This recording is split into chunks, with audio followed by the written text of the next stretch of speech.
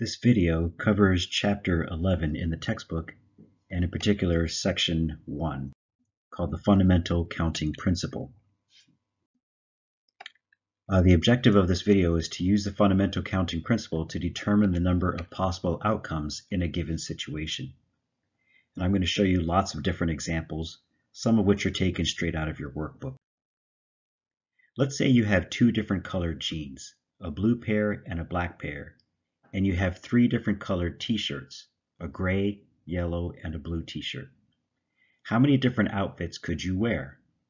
Well, if you look at the picture to the left, that means you're going to wear the blue jeans with the gray t-shirt or with the yellow t-shirt or with the blue t-shirt. So there's three different ways.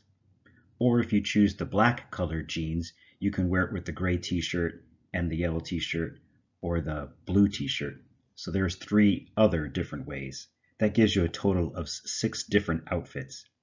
Well, instead of having to draw the picture each and every time, you could use this idea called the fundamental counting principle, which says if you can choose one item from a group of m items and a second item from a group of n items, then the total number of two item choices is simply their product, m times n. Well, we drew a tree diagram earlier, but this tree diagram shows that there are two times three, or six different outfits, two pairs of jeans, uh, created from two pairs of jeans and three t-shirts. Here's another example. Let's say a restaurant called Greasy Spoon offers six appetizers and 14 different main courses. How many ways can a person order a two-course meal? Well, choosing one of the six appetizers and only one of the 14 main courses and using the fundamental counting principle, we're simply going to multiply 6 times 14, which is 84. So there are 84 different ways that you can order a two-course meal at this restaurant. Now, the fundamental counting principle says that you're really just multiplying your number of options together. So what if you had three or more? In this case, we have three different options. We have a, we have a different pair of jeans to choose, different pair of t-shirt, and now what if I throw in uh, two different pairs of sneakers to choose? Well, again, the fundamental counting principle says you can just quickly multiply your number of options. 2 times 3 times 2, two pairs of sneakers, uh, gives you a total of 12 different outfits for this particular example. So it's not restricted, the fundamental counting principle is not restricted to only two groups of items. You could have more than two. Here's another example. Let's say that next semester you're planning to take three courses, a math, an English, and a humanities course. There are eight sections of math, five of English, and four of humanities that you may find suitable. So assuming that, that, that there won't be any scheduling conflicts, how many different three-course schedules are possible? Well, again, according to the fundamental counting principle, you're going to take the number of options of math courses that you have, which there are eight, times the number of English courses that you have, which there are five, times the number of humanity courses that you have, which there are four, and you can multiply those together to come up with 160 different three-course schedules. All right, here's another example. Let's say you're taking a multiple choice test and it has 10 questions.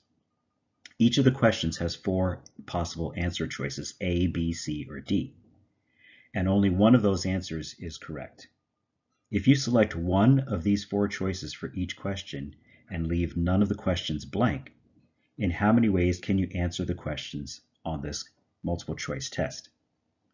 Well, in this case, for each question, you have four different choices, four different options that you can make. You can either choose A, B, C, or D. And since there are 10 questions, it's four choices for question one, four choices for question two, four for question three, etc., all the way down to 10, which according to the fundamental counting principle says we have to multiply all of those different options. This is really 4 to the 10th power, or 1,048,576 different ways of answering just a 10 question multiple choice test. That's amazing.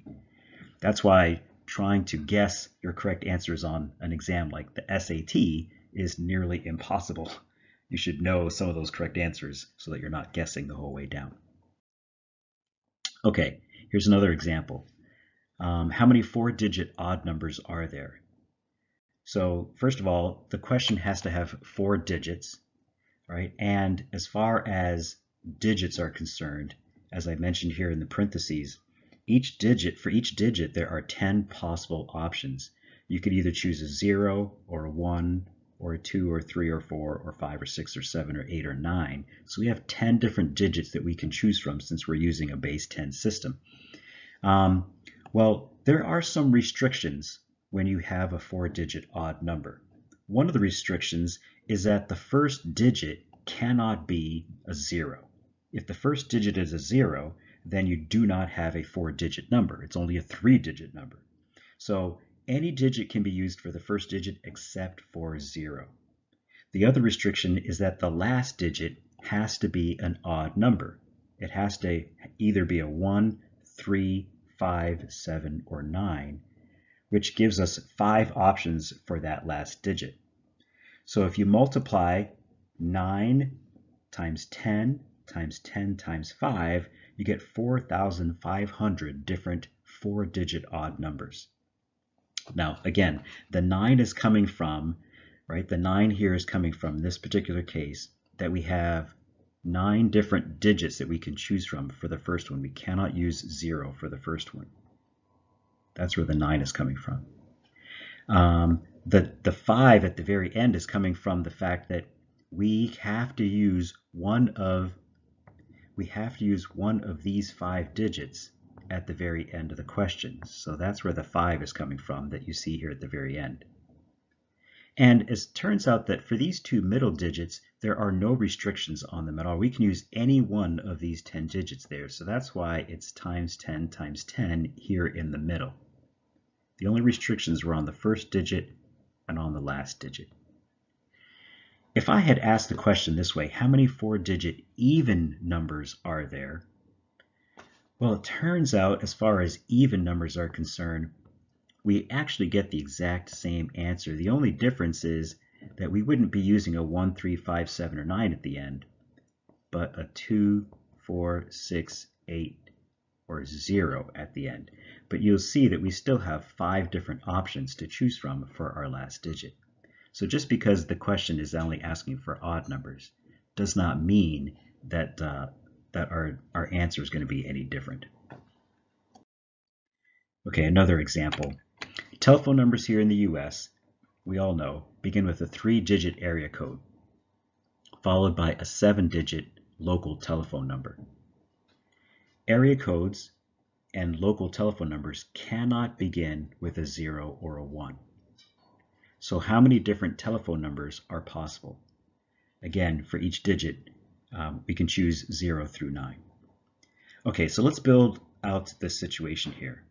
This question involves making choices with 10 groups of items, right? There are three digits in the area code, seven digits in the local telephone numbers. That's a total of 10 digits. And as far as the area code is concerned, we have to use um, we have to use any number at the very beginning here, except for a zero or a one, right? Those are our options here. We only have we only have eight choices to make because we cannot use a zero or a one in that first digit. Same thing for the first digit in the local telephone number. We cannot use a zero or a one. That's why it's eight sitting in that spot there as well. However, for the other digits, there are no restrictions whatsoever. That's why there are a bunch of tens that you see sitting there. Well, if you multiply all of this, it's a lot here, but if you multiply all of this, it gives us a grand total of 64, sorry, that's, yeah, that's 6 billion 400 million different phone numbers. That's amazing. The fast way to do that, by the way, is just to take 8 times 8, which you know is 64, and then count the number of tens that you see here in this problem. 10 times 10, that's two of them three, four, five, six, seven, eight. So that means we need eight zeros after the number 64. So 64 followed by eight zeros gives us 6 billion 400 million different telephone numbers. Here's another example. Let's say in New York that license plates are made up of three letters followed by four digits. And the question is, how many different license plates can be made if repetition is allowed? Okay, so um, we need three letters and four digits. Since there are 26 letters in the alphabet and repetition is allowed, well, this turns out to be 26 times 26 times 26. That's how we can get three repeated letters.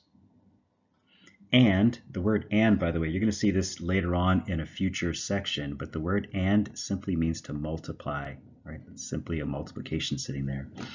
So uh, 26 times 26 times 26 times, and the four digits, again, we have no restrictions on those. Repetition is allowed is 10 times 10 times 10 times 10, or a grand total of 175,760,000. What if I ask the question a little different? What if I say, okay, same thing, three letters and four digits, but this time repetition of letters and digits is not allowed. In that case, now where our restriction is a little bit more on, on the, the, the two remaining letters and the three remaining digits. You'll see what I mean by that here next. In this particular case, for our first letter, we have a choice of 26 different letters of the alphabet. But once we choose a letter, right, let's say we chose the letter F, like you see here in the license plate, then F is no longer allowed to be repeated. Therefore, we're down to 25 choices for our second letter. In this case, it looks like we chose A for the second letter. That means now F cannot be used, A cannot be reused, because repetition is not allowed. That means for our third letter, we're down to 24 different letters to choose from.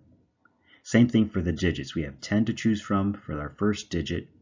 Once we choose one of those 10 digits, 0 through 9, now we're down to 9, and then 8, and then 7. So this is what it looks like if repetition is not allowed. 78,624,000 different license plates.